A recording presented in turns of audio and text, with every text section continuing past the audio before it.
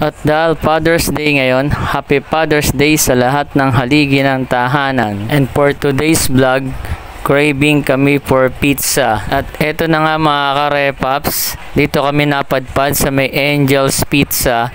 Dito lang po yan sa Marikina Heights. Ang kaso, after 2 hours daw ang order namin kaya hindi na kami tumuloy. Kaya mga karepaps, dito na lang po kami napunta sa may SNR Ayala Mall. Ang kaso, 1 and a half hours daw bago dumating ang aming order. No choice kami kundi tumuloy. Wala na kasi kaming mahanapang pizza dito sa may Marikina Heights. A few moments later. At last, dumating na po ang aming order na pizza and all meat spaghetti with french fries. Tara mga karepaps, tikman natin ang kanilang cream cheese pepperoni pizza. 18 inches nga po pala itong pizza na to. Okay na okay sa 6 to 8 person. Busog na busog na po ang kakain dito mga karepaps. After namin kumain, ikot lang kami sa mall. May live band pala dito.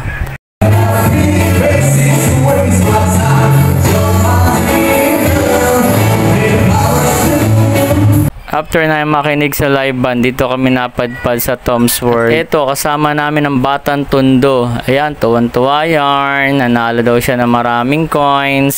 Okay mga karepaps, dito ko natatapusin ang aking vlog. Paalam!